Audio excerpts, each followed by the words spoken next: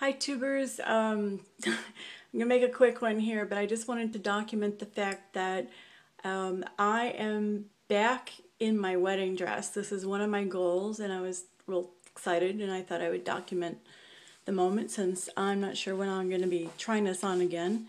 But um, actually, when I wore this on my wedding day, which is the last time I wore this, and was able to get it zipped up and everything, it took a it took someone else really kind of pouring me into it, zipping me into it. Um, I also had a pretty much a full body corset to gather up everything and, and pour me into it.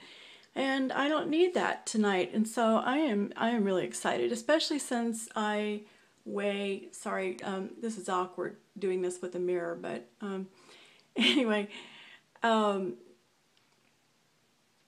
this this is just all all exciting to me um, because it, it shows that um, even though I weigh more than I did on my wedding day, I think that the weight is coming off in a way that um, I'm losing a lot of the fat and I'm um, am toning up with my efforts um, that I've been making. Um, so anyway, I'm thrilled. I'll just do a quick down the you know, look at everything here, you can kind of see uh, a scar, my scar through here, and here's a spot left over from the wedding day. I never thought I would ever wear this or even look at it again, so I didn't exactly, you know, have it cleaned and stored and all that stuff.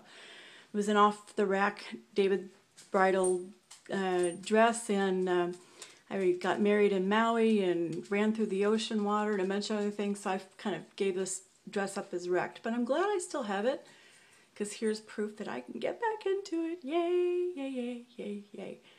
Okay, so there you go. That's it. Have a good evening.